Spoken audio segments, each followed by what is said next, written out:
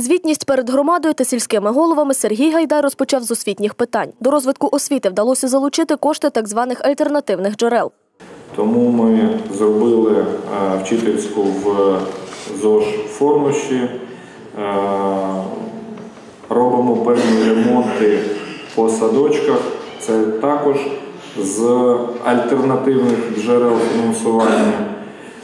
І саме зараз робиться ремонт, до речі, е, перекладають там пічки, вже закінчують, напевно, в Бистриці в дитячому садочку. Наголосив голова РДА, що питання розвитку культури не лише в районі, а й в області болюче, оскільки кошти виділяються, на його думку, за залишковим принципом. Головним досягненням в цій галузі назвали фестиваль Бобовищенське гроно. Навіть коли е, керівництво області е, в нашій районній палаці пили каву, то вони а, сказали, що дійсно фестиваль проведений на вищому рівні. На цей рік, до речі, вони просили, щоб ми на їх фестивалі, який вони започаткували в Ужгороді, дали наших виноробів, які були присутні на нашому фестивалі.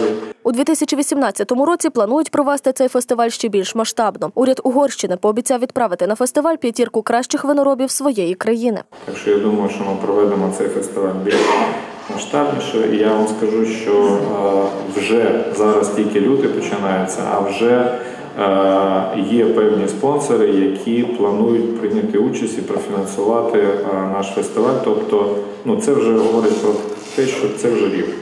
У сфері соціального захисту також є чималі досягнення, адже вдалося придбати два будинки для дітей-сиріт. Також за 2017 рік отримали чимало гуманітарної допомоги. Сказали, що в цьому році дадуть нам грошей навіть більше ніж, е, ніж в минулому році. Тому будемо дивитись, можливо, е, придбаємо ще будинок для ДБСТ. Так що будемо тримати ту планку, яку ми підняли. Щодо медицини, то кажуть, залишки з медичної субвенції є. Проте проблема виплат зарплатні медичним працівникам існує. Є залишки медичної субвенції, але є певні проблеми по зарплаті.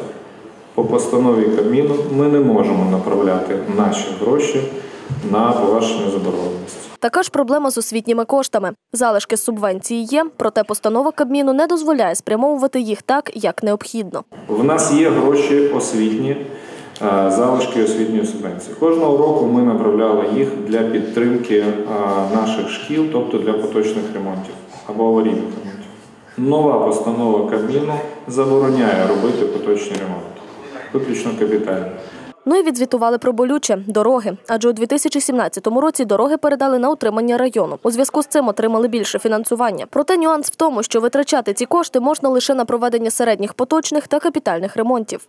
Але нема такої статті, як е, утримання доріг. Тобто, якщо є нормальна дорога, на ній з'явилася якась яма, ми не можемо її поки що відремонтувати, тому що це ще не середній поточний і не капітальний ремонт.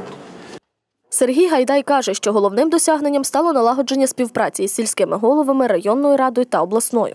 Певні досягнення, які є, це те, що е, є співпраця з Києвом, є співпраця з областю. Ми дійсно на декілька мільйонів е, щороку робимо додаткові ре- ремонти доріг. От в минулому році на 3 мільйони зробили, е, поза минулому році на 3 мільйони зробили з резервного фонду, і в цьому році ми вже отримуємо гроші. Саме це і допоможе залучити ще більше фінансової підтримки на розвиток району та за 2018 рік зробити все заплановане, переконаний голова району.